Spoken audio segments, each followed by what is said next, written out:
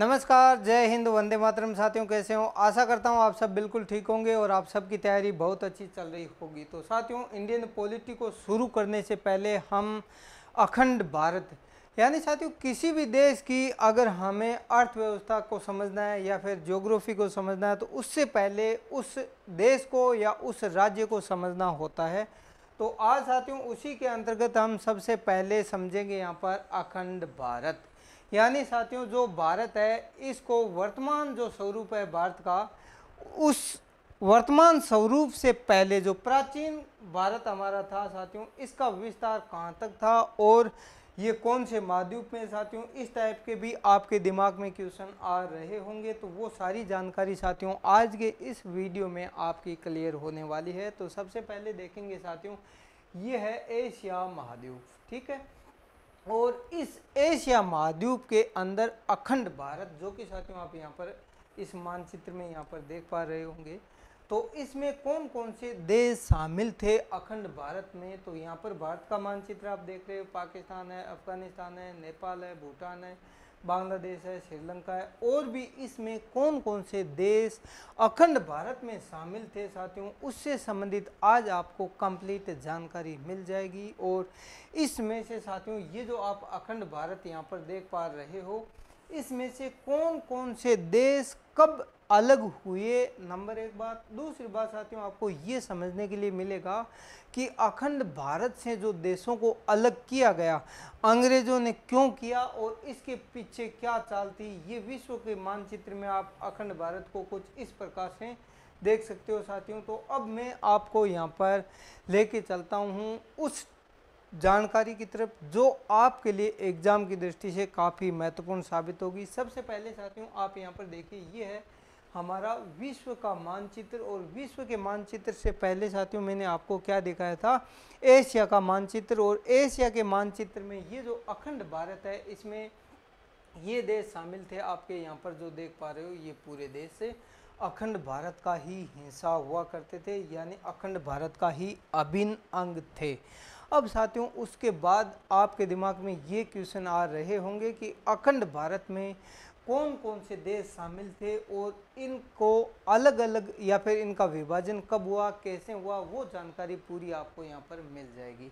तो सबसे पहले साथियों, ये जो आपका अखंड भारत है, इसमें सबसे पहले आप यहाँ पर देखिए, ये विश्व का मानचित्र है और यहाँ पर आपको अखंड भारत शो किया गया है और बाकी साथियों, आप यहाँ पर भी देख सकते हो। सबसे पहला जो आपका सवाल है, वो है अखंड भारत, हम किसे कहते हैं? तो प्राचीन समय का जो भारत अविभाजित भारत है, उसी को अखंड भारत के नाम से हम जानते हैं। सबसे पहला हमारा पॉइंट क्लियर हो गया कि अखंड भारत किसे कहते हैं?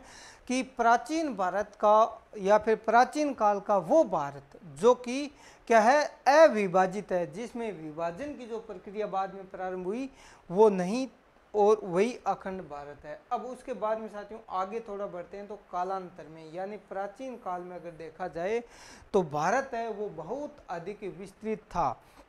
अब इसका विस्तार कहाँ कहाँ तक था साथियों, वो देखते हैं। तो सबसे पहले वर्तमान समय का भारत, ये उस अखंड भारत में शामिल था। उसके साथ ही दोस्तों, यहाँ पर अफ़गानिस्तान, पाकिस्तान, तिब्बत, भूटान, म्यांमार, बांग्लादेश, श्रीलंका और ये जितने भी देश आप देख रहे हो साथियों, आपको यहाँ पर मलेशिया है, फिलीपींस है, थाईलैंड है, वियतनाम है, कम्बोडिया है, Indonesia, Laos, Maldives, Singapore, Brunei और नेपाल आदि इसी के हिस्सा हुआ करते थे, ठीक है?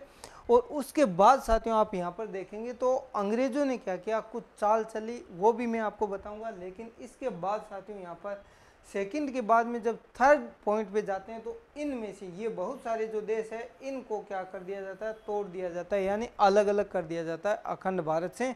तो अलग करने के बाद में साथियों, आप यहाँ पर देखेंगे तो कुछ देश यहाँ पर बच जाते हैं, जो कि हम थर्ड पॉइंट में क्लियर करेंगे, जिसमें अखंड भारत में साथियों, आज का अफ़गानिस्तान शामिल था, पाकिस्तान उसी में शामिल था साथियों। पाकिस्तान के बाद में यहाँ पर आप देखेंगे, तिब्बत है, भूटान है, म्यांमार है। बांग्लादेश और श्रीलंका आदि आते हैं, ठीक है?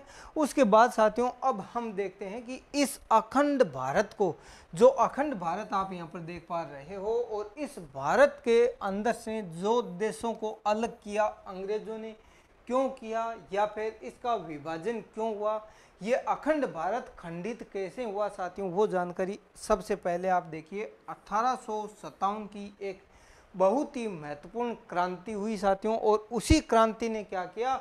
जो ब्रिटिश साम्राज्य है, उस साम्राज्य की नींव हिला दी। यानी उस ब्रिटिश साम्राज्य की नाक में दम कर दिया। पहली एक छोटी सी क्रांति हुई थी अठारह सौ सत्तावन की और उसी के बदौलत साथियों, अंग्रेज़ों ने एक चाल चली कि हमें किसी भी तरीके से इस भारत के टुकड़े करने ताकि हमें यहाँ पर व्यापार करने में किसी भी प्रकार की इस तरह की क्रांति का सामना ना करना पड़े। ठीक है? तो ऐसी स्थिति में साथियों, इन्होंने क्या किया? भारतीय जो भूभाग था, इसको अखंड भारत का जो भूभाग था, इसको अलग अलग देशों में बांटने का निर्णय ले लिया। और वैसे साथियों, सबसे पहले आप देखेंगे तो अफ़गानिस्तान को अलग क्यों किया, उसके बारे में भी मैं जानकारी दूँगा। अंग्रेज़ों की फूट डालो और शासन करो की जो नीति थी, उसी नीति के तहत साथियों, उसने क्या किया, भारत के टुकड़े अलग अलग कर दिए। यानी अखंड भारत में जो देश मैंने आपको यहाँ पर बताए थे, अफ़गानिस्तान, पाकिस्तान, तिब्बत म्यांमार, नेपाल, भूटान, श्रीलंका, ये सभी एक ही थाली में खाना खाने वाले थे, यानी एक ही परिवार का सदस्य थे और उस परिवार को हम अखंड भारत कहते हैं, ठीक है? और इसी का सदस्य, इसी का हिंसा होने के बाद भी साथियों, अंग्रेज़ों ने अठारह सौ सत्तावन की क्रांति से प्रभावित होकर कदम उठाया कि इस भारत को भाई धीरे धीरे कमज़ोर करना है अलग अलग करना है अलग अलग का मतलब अलग अलग देशों में इसको बांटना है ताकि हमें व्यापार करने में किसी भी प्रकार की समस्या न आए। और ये छोटे छोटे हिस्सों में बांटना चाहते थे और उनका सबसे पहला जो था महत्वपूर्ण कदम वो ये था कि ये भारत है, वो पुनः कभी भी अखंडित न बन सके। यानी जो अखंड भारत है, वापस कभी भी क्या है एक साथ शामिल होकर के ये जो अठारह सौ सत्तावन की क्रांति हुई थी, इस प्रकार की क्रांति कभी ना हो। इस तरीके की उन्होंने चाल चली और अंग्रेज़ यहाँ पर इस चाल में सफल भी रहे। और इस सफलता में उन्होंने सबसे पहले साथियों, आप यहाँ पर देखिए, ये जो अखंड भारत है, इसमें से उन्होंने अफ़गानिस्तान को अलग किया। लेकिन साथियों, ये जो अखंड भारत है, ये प्राचीन काल का जो भारत था हमारा जो अविभाजित स्वरूप है, वही आपको यहाँ पर दिखाया गया है, जो कि आप यहाँ पर देख सकते हो। अब इसमें साथियों कौन कौन से देश शामिल है, वो आप यहाँ पर वर्ल्ड मैप में देखेंगे तो एशिया महाद्वीप में साथियों, ये जो सबसे महत्वपूर्ण अफ़गानिस्तान, आपका पाकिस्तान आ जाता है। पाकिस्तान के बाद में साथियों, भारत भी इसी में शामिल था और उसके बाद साथियों, यहाँ पर तिब्बत है, आपका नेपाल है, भूटान है और ये आपका म्यांमार आ गया और बांग्लादेश और ये श्रीलंका। ये सभी हमारा प्यारा देश अखंड भारत जो था, उसी के हिंसा थे, उसी परिवार के सदस्य थे। लेकिन अंग्रेज़ों ने अठारह सौ सत्तावन की क्रांति के बाद मैंने आपको बताया था कि इन्होंने एक साल चली और धीरे धीरे देश को अलग अलग टुकड़ों में बांट दिया। उसके बाद साथियों, आप यहाँ पर देखेंगे तो यहाँ पर सबसे पहले मैं आपको बताना चाहता हूँ साथियों, कालांतर में। यानी जो प्राचीन काल में क्या हुआ साथियों, भारत है वो एक बहुत ही विस्तृत भारत था।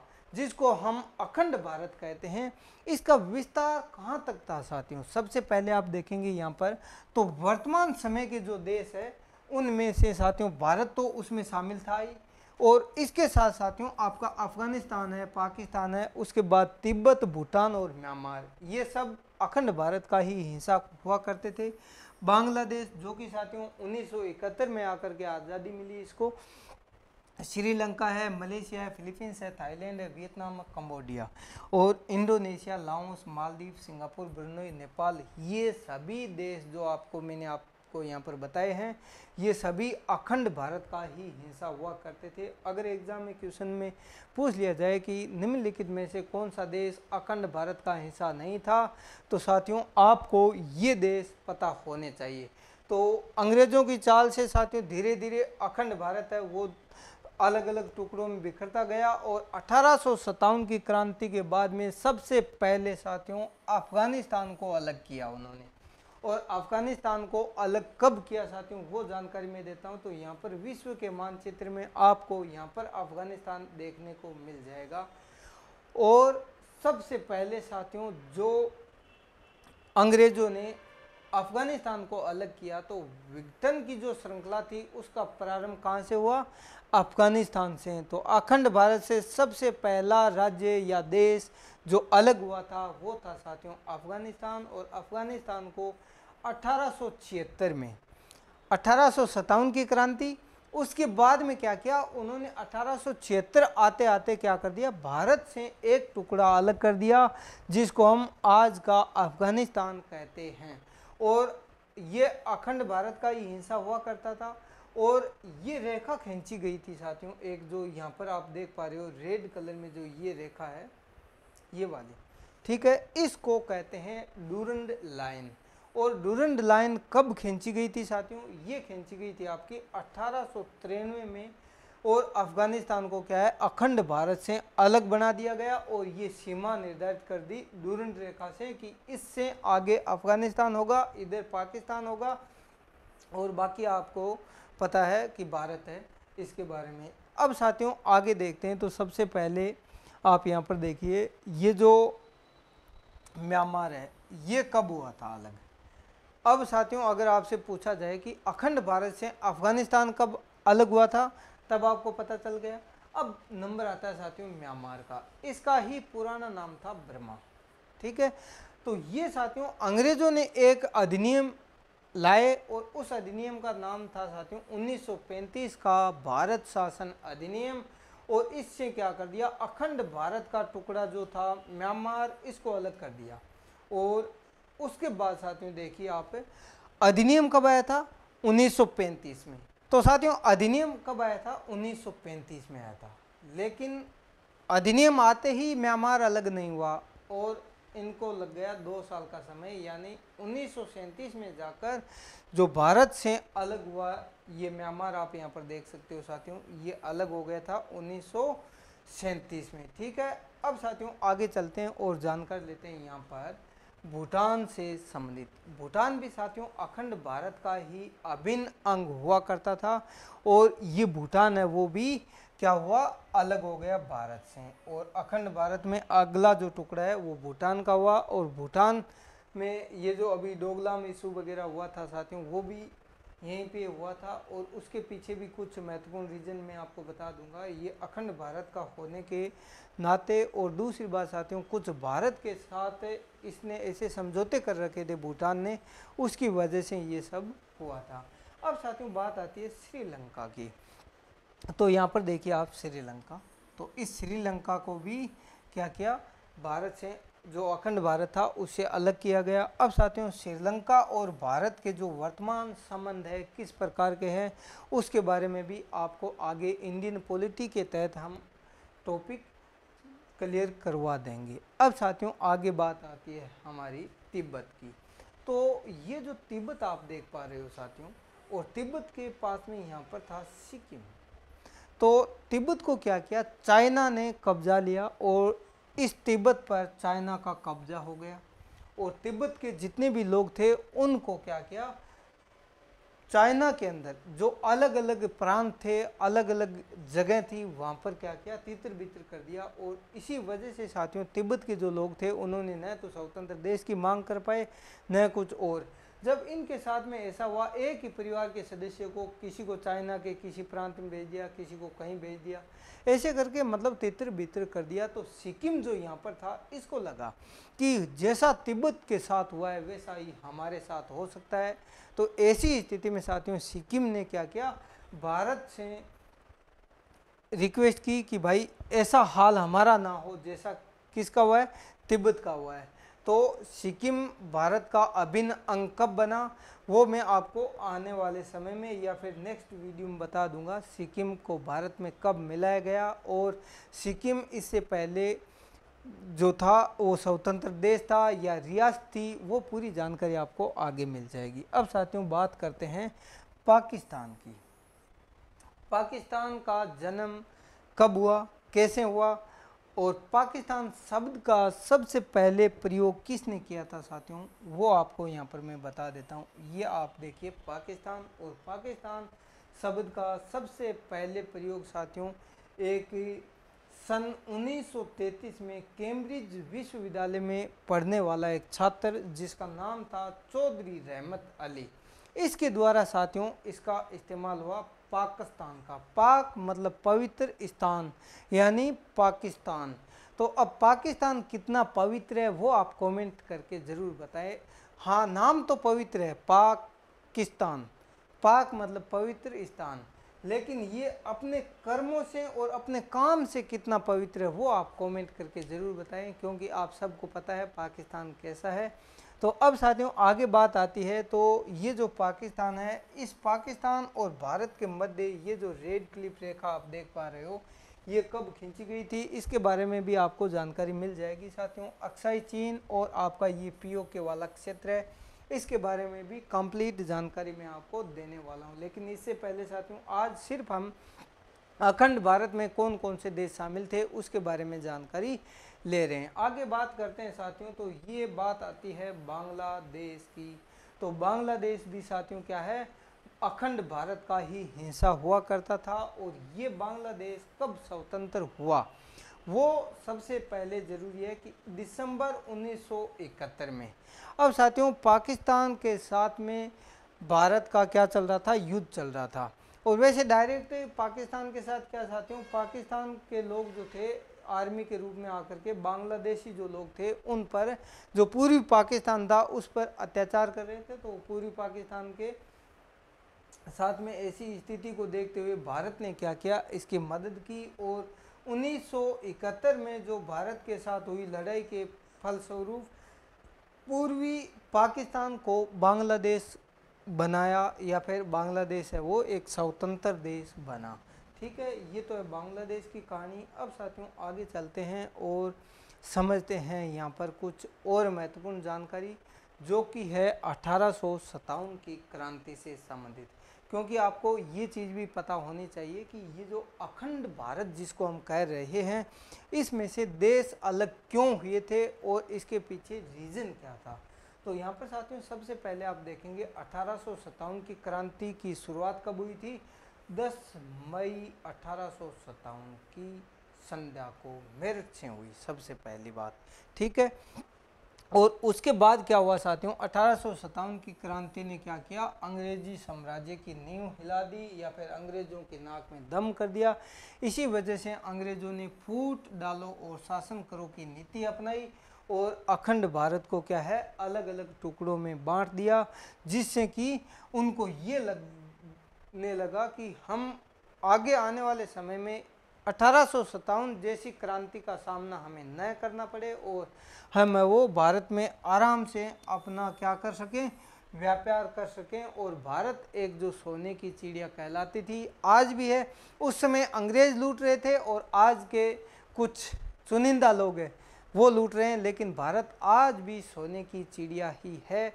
वो आप सबको पता है, एक व्यक्ति करोड़ों रुपए लेकर के, अरबों रुपए लेके विदेश भाग जाता है और किसी ऐसे अभी देखे होंगे साथियों आपने देश के अलग अलग कोनों में कहीं रेड पड़ती है तो वहाँ पर क्या है, करोड़ों की संख्या में रूम भर भर के, ट्रकों के भराव में नोट मिल रहे हैं। तो इसका मतलब है, इंडिया सोने की चिड़िया थी और है आज भी, लेकिन वो सोने की चिड़िया है। वो पिंजरे के अंदर कैद हो गई है। अब वो पिंजरा किसका कितना बड़ा है, वो आप सब जानते हो।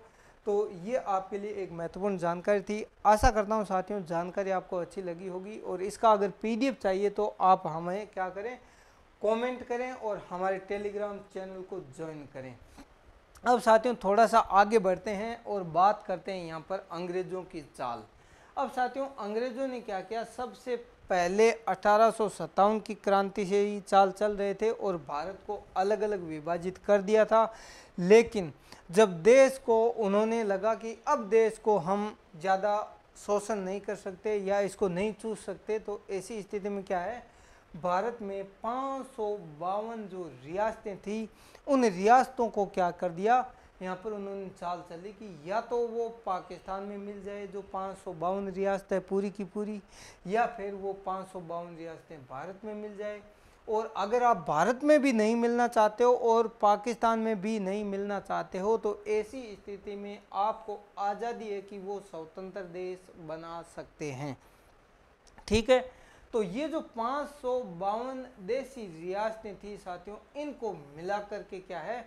फेडरेशन बनाना या एक संघ बनाना संभव नहीं था, क्योंकि फेडरेशन में और यूनियन में कुछ कमियाँ होती है साथियों। सरदार पटेल को ये ज़िम्मेदारी दी गई थी कि वो इसको मिला करके क्या करें? एक यूनियन बनाए। यूनियन में साथियों, अगर आप शामिल हो जाते हो तो उसमें क्या है? वापस आप बाहर नहीं निकल सकते। और ये जो है आपका फेडरेशन, इसमें क्या होता है? इसमें आप पर कोई प्रतिबंध नहीं है, आप अलग हो सकते हो। जैसे साथियों फेडरेशन का अगर आप देखेंगे तो सबसे महत्वपूर्ण वर्तमान समय में अगर एग्जांपल लिया जाए तो पाकिस्तान, जैसे पाकिस्तान से ये कुछ हैदराबाद है, आपका जूनागढ़ है और जम्मू कश्मीर है, ये कहाँ जाना चाह रहे थे? ये जाना चाह रहे थे पाकिस्तान में। लेकिन फेडरेशन में साथियों देखा जाए तो यूएसए को अगर आप देखेंगे तो यहाँ पर अमेरिका में अलग अलग राज्यों का अलग संविधान है। और क्या हुआ? वहाँ पे अलग अलग राज्यों ने मिल करके क्या है? यूएसए का निर्माण किया। तो इसी वजह से साथियों, वहाँ पर दोहरी नागरिकता है। लेकिन भारत में ऐसा बिल्कुल नहीं है। दोहरी नागरिकता थी एक समय जब जे के को अलग से धारा 370 के तहत कुछ विशेष प्रावधान मिल रखे थे तो वो आगे आपको मिल जाएगा।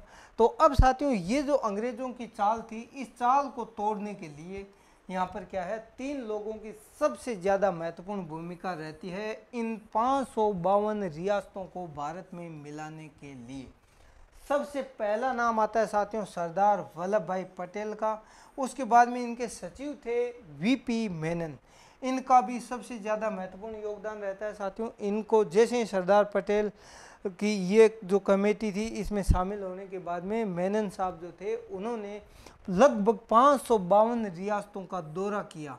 दौरा करने के बाद में उनके जो राजा महाराजा थे, उनको समझाया कि भाई आप पाकिस्तान में ना मिल करके भारत में मिल जाए और स्वतंत्र देश बना करके भी आप क्या कर पाएँगे? भारत के बीच में रह करके कौन सा स्वतंत्र देश बना लेंगे?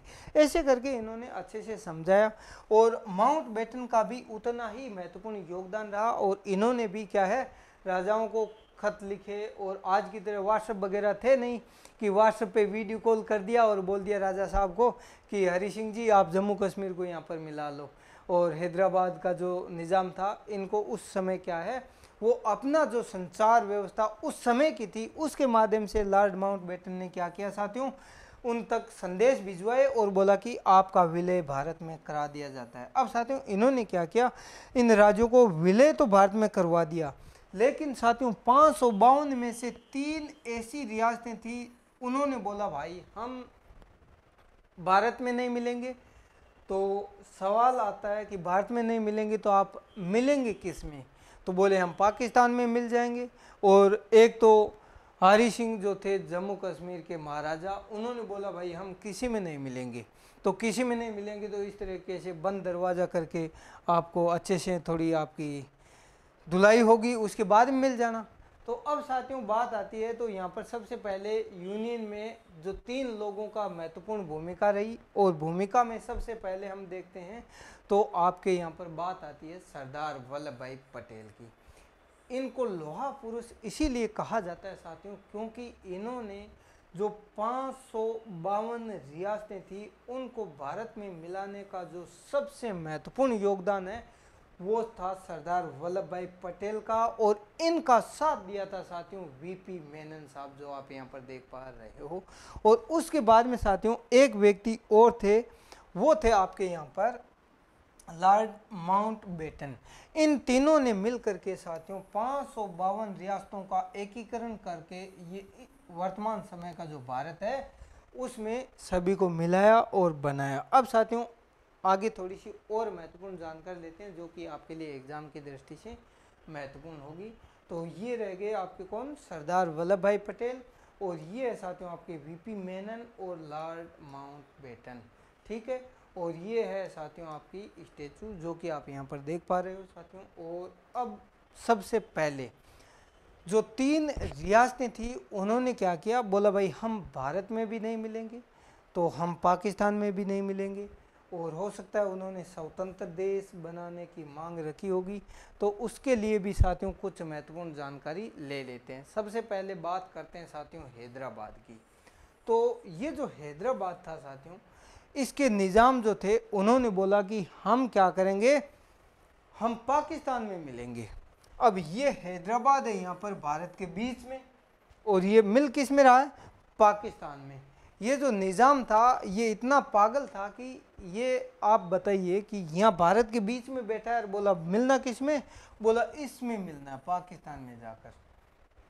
चलो, सरदार वल्लभ भाई पटेल ने बोला कि ठीक है बेटा, तेरे को भी समझाएँगे। और जूनागढ़ जो था साथियों, ये जो जूनागढ़ के राजा थे, उन्होंने भी बोला, ठीक है, हम भी किसमें मिलेंगे? पाकिस्तान में मिलेंगे। और ये जो जम्मू कश्मीर है साथियों इस जम्मू कश्मीर के जो राजा थे, हारी सिंह, इन्होंने बोला, भाई, हम न तो इसमें मिलेंगे पाकिस्तान में और ना भारत में मिलेंगे, हम एक अपना अलग स्वतंत्र देश बनाएँगे।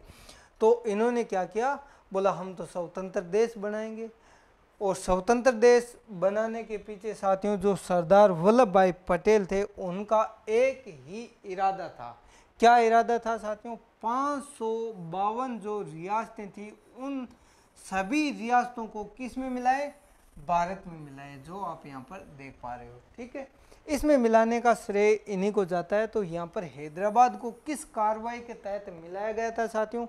जूनागढ़ में जनमत संग्रह और उसके बाद में जम्मू कश्मीर में विलय पत्र के द्वारा मिलाया गया था भारत के साथ। अब साथियों, इसके बारे में थोड़ी सी और जानकारी लेते हैं और आगे बढ़ते हैं साथियों कि इन जो तीन रियासतें थी, इन रियासतों को भारत में विलय कराने के लिए जो महत्वपूर्ण भूमिका रही, सबसे पहले साथियों यहाँ पर आप देखेंगे, एक नंबर में कौन आता है आपका? यहाँ पर आता है, बात करते हैं हैदराबाद की। तो ये जो हैदराबाद है साथियों, इसने क्या बोला? बोला, भाई, हम तो पाकिस्तान में मिलेंगे। तो ऐसी स्थिति में क्या हुआ?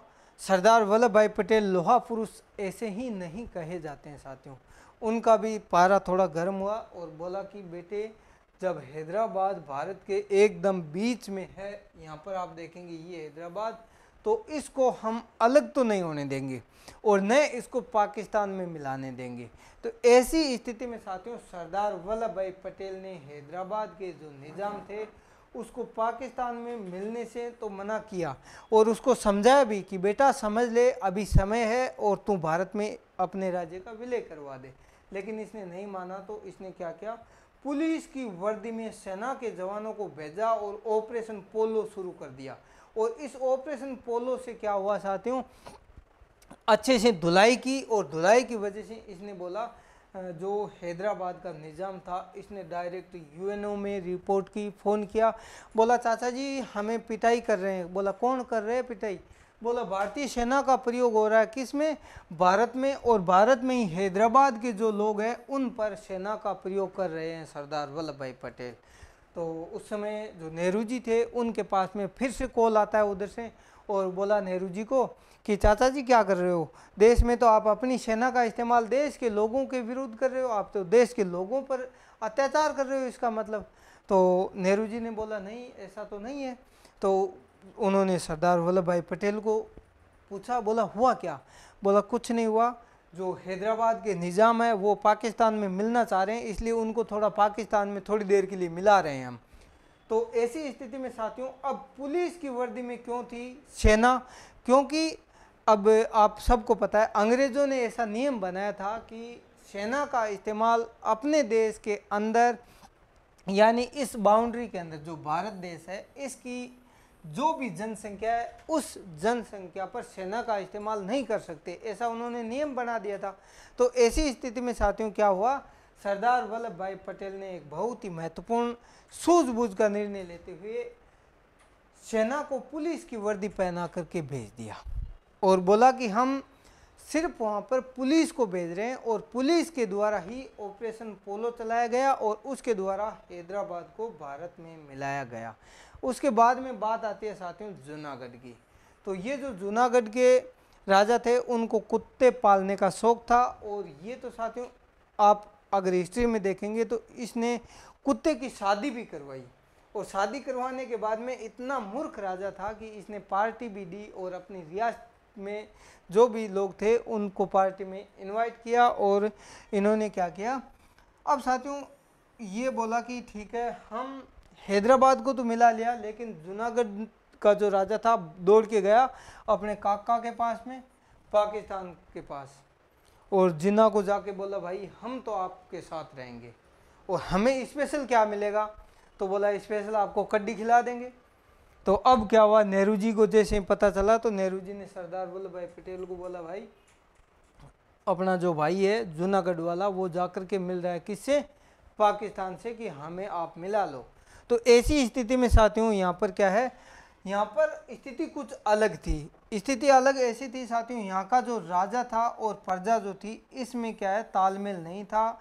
तो ऐसी स्थिति में क्या है? यहाँ पर जनमत संग्रह करवाया गया और जनमत संग्रह के द्वारा साथियों क्या है? इसको मिला लिया जाता है जूनागढ़ को भारत में। आगे बात आती है कश्मीर की। तो कश्मीर का जो राजा था साथियों, जम्मू कश्मीर का, वो था हरी सिंह और हरी सिंह था हिंदू। और जनता कौन थी साथियों? जनता थी मुस्लिम। तो अब जनता तो क्या चाह रही थी कि भाई हम मिल जाएँ किसमें? पाकिस्तान में। लेकिन हिंदू राजा हरि सिंह को ये डर था कि जैसे ही जनता या फिर मैं विलय अगर जम्मू कश्मीर का पाकिस्तान में मिला देता हूँ तो ये क्या करेंगे? मुस्लिम कंट्री होने के कारण और ये कट्टर मुस्लिम होने के कारण क्या करेंगे? राजा हरि सिंह को जैसे ही विलय होगा जम्मू कश्मीर का, उसके बाद में राजा साहब को तो वहाँ से धुलाई करके और कहीं और पहुँचा देंगे। मतलब अफ़गानिस्तान की तरफ़ उधर पहुँचा देंगे और इसको मिला करके इस जनता को भी क्या करेंगे? मुस्लिम है तो वो तो अपने चाचा भतीजा वाद होकर के वो अपने आप मिल जाएँगे और आगे साथियों, स्थिति ऐसी लगी हरी सिंह को कि मेरे साथ ऐसा ही होने वाला है। तो हरी सिंह ने क्या किया? बोला कि नहीं, हम तो स्वतंत्र देश बनाएँगे, किसी में नहीं मिलना हमें। तो ऐसी स्थिति में साथियों, पाकिस्तान से रहा नहीं गया। और पाकिस्तान ने सोचा कि जूनागढ़ और हैदराबाद दोनों हाथ से निकल गए और जम्मू कश्मीर हमारे हाथ से नए निकले। इसलिए साथियों, पाकिस्तान ने यहाँ पर क्या किया? घुसपैठिए भेजे और आतंकवादियों को क्या है, यहाँ जम्मू कश्मीर में भेजा और बोला, हरि सिंह की अच्छे से धुलाई कर दो और राज्य में अशांति फैला दो ताकि हरि सिंह है वो, या फिर यहाँ की जनता को लगे हमें पाकिस्तान में मिलने से ही फ़ायदा होगा। तो ऐसी स्थिति में क्या होता है साथियों, हरि सिंह को लगा कि अब हम नहीं बचेंगे तो हरि सिंह भाग के आया काका जी के पास, अपने चाचा के पास, नेहरू जी के पास और बोला, काका जी, हमें तो पिटाई कर रहे हैं। बोला, बेटा, कौन पिटाई कर रहा है? बोला, पाकिस्तान ने हमारे यहाँ पर आतंकवादी भेजे हैं और ये कश्मीर में अशांति फैला दी और यहाँ पर जनता को भी परेशान कर रहे हैं और थोड़ी देर में अगर आपने हमारी मदद नहीं की, सहायता नहीं की तो ये हमें भी कब्जे में लेकर हमारे भी अच्छे से लाल कर देंगे बंदर की तरह कूट कूट के। तो ऐसी स्थिति में साथियों क्या है? नेहरू जी ने दिमाग लगाया कि, बेटा आप तो बोल रहे थे, हम न तो भारत में रहेंगे और नए पाकिस्तान में रहेंगे, स्वतंत्र देश बनाएँगे। तो बना लो थोड़ी देर के लिए। तो उसने बोला, चाचा जी, हाथ जोड़ रहे हैं, आप कैसे करके हमें बचा लो बस? तो ऐसी स्थिति में नेहरू जी ने किसको बोला? सरदार पटेल को बोला, भाई, देख ले थोड़ा मामला, इसको भी थोड़ा शांत कर दे। तो नेहरू जी ने बोला, ठीक है भाई, हैदराबाद को तो हमने इस तरीके से मिला लिया और जूनागढ़ को भी मिला लिया। अब बात आती है तेरी तो तू बता, किस शर्त पे मिलेगा? तो हरी सिंह तो कुछ समझ में आया नहीं, बोला, आप कैसे भी करो, लेकिन हमें बचा लो। तो ऐसी स्थिति में सरदार वल्लभ भाई पटेल ने बोला, ला बेटे, एक पत्र लाए और उस पत्र पे साइन करवा लिए। बोला कि, यहाँ पर साइन कर दे कि मैं जम्मू कश्मीर का राजा हरी सिंह अपने राज्य का विलय भारत में करवाता हूँ और ये साथियों 26 अक्टूबर उन्नीस सौ सैंतालीस को विलय पत्र पर हस्ताक्षर हुए और हस्ताक्षर होने के बाद में अभिन्न अंग बन गया जम्मू कश्मीर, भारत का। लेकिन साथियों, कुछ अलग चाल चली। आपको पता है, वहाँ पर जो हिंदू राजा हरि सिंह थे, लेकिन जनसंख्या सबसे ज़्यादा मुस्लिम थी। तो इसी वजह से साथियों, वहाँ पर एक स्पेशल एक्ट जो आपका धारा 370 जोड़ी गई थी उसके बारे में भी मैं आपको आगे डिटेल में समझाऊँगा और अब साथियों आगे बढ़ते हैं और थोड़ी सी और जानकारी लेते हैं और वो जानकारी है कि इन रियासतों का विलय भारत में जब हुआ तो किस तरीके से हुआ और क्या हुआ। तो सबसे पहले साथियों आप देखिए यहाँ पर, ये जो रियासतें थी, इन रियासतों का एकीकरण करके भारत में मिलाया गया तो भारत में क्या है? राज्य बनाए गए थे ए बी सी और डी चार प्रकार के राज्यों में शामिल कर दिया किसको? पाँच सौ बावन रियासतों को। अब साथियों, आपको पता होना चाहिए कि ये जो पाँच सौ बावन रियासतें थी, इनमें से ए बी सी डी में कौन कौन से राज्य रखे गए? तो सबसे पहले साथियों, आपके यहाँ पर बात आती है ए की। ए में साथियों, ये जो ब्रिटिश प्रोविंस थे, यानी जहाँ पर सीधा डायरेक्ट अंग्रेज़ों का शासन था, वो नौ राज्य थे। और उन्हीं नौ राज्यों को क्या है? ए कैटेगरी के जो राज्य थे, उनमें रखा। और उसके बाद में साथियों, आप देखेंगे यहाँ पर बी में क्या है? ये प्रिंसली जो स्टेट थे, जहाँ पर साथियों, जो देसी रियासतें थी, राजाओं का शासन था, वो थे नौ राज्य। इनको भी क्या है? बी श्रेणी में रखा। और सी और डी में किसे रखा साथियों? एक आप यहाँ पर देखेंगे, ऐसे शहर जहाँ पर डायरेक्ट अंग्रेज़ों का कब्जा था। जैसे बिहार पर कब्जा करना तो पूरे बिहार के भौगोलिक क्षेत्र को कब्जा न करके उन्होंने पटना को कब्जा लिया। और मुंबई उस समय का जो प्रांत था तो उसमें से क्या है, जैसे बाद में तो आगे चल करके गुजरात अलग हो गया और आपका महाराष्ट्र अलग हो गया। तो अब मान लो महाराष्ट्र पर अगर किसी को कब्जा करना है तो महाराष्ट्र पूरे क्षेत्र पर कब्जा न करके महाराष्ट्र की जो वित्तीय राजधानी देश की है, मुंबई, उस पर और जो पुणे वगैरह जो प्रमुख केंद्र है, उन्हीं पर कब्जा कर लो। तो वो क्या है? पूरे महाराष्ट्र पर ही कब्जा कहलाएगा। तो उसी प्रकार साथियों, उन्होंने क्या किया? कुछ शहरों पर कब्जा किया और ये शहर थे टोटल दस। और उसके बाद में आती है आपकी केंद्र शासित प्रदेश यानी यूनियन टेरिटरी तो ये एक थी साथियों। तो ये आपने क्या देखा साथियों? पाँच सौ बावन रियासतों को ए बी सी और डी में इस तरीके से रखा गया। तो ये साथियों, एक जानकारी थी आपके लिए। कि अखंड भारत किस तरीके से टूटा और देश कैसे कैसे अलग हुए, इससे कौन सा देश कब अलग हुआ और कौन सी ऐसी रियासत थी जिसने भारत में विलय करने से मना किया और भारत में मिलाने के लिए उनके विरुद्ध कौन कौन सी कार्रवाइयाँ की गई, ये पूरी जानकारी मैंने दी है आपको साथियों। अब अगले वीडियो में मिलेंगे साथियों, इससे आगे की जानकारी लेकर के धन्यवाद। जय हिंद, वंदे मातरम।